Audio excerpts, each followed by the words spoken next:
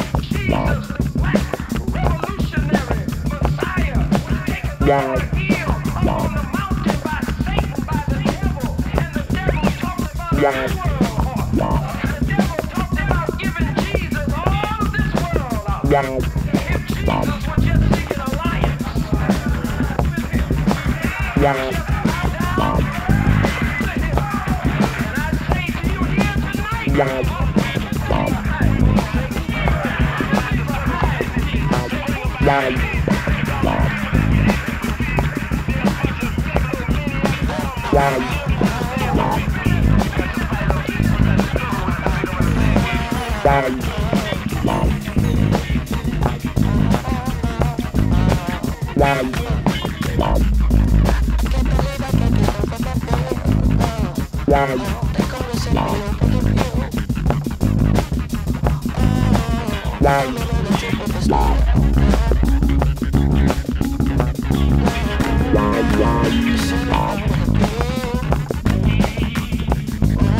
Yeah. Yeah.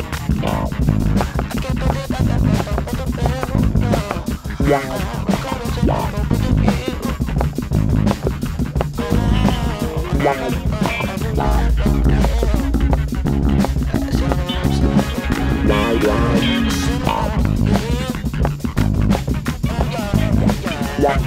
Yeah.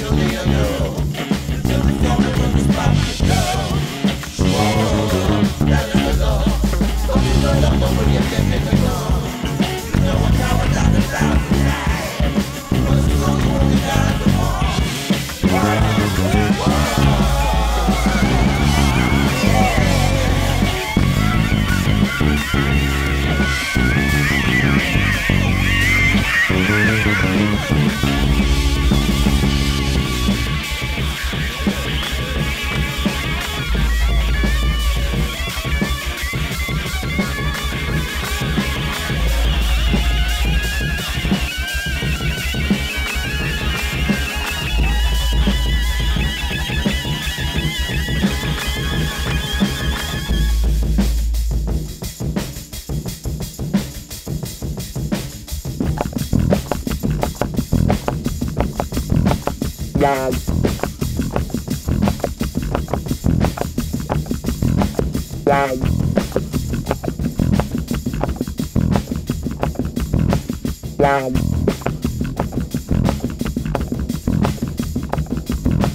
Wow.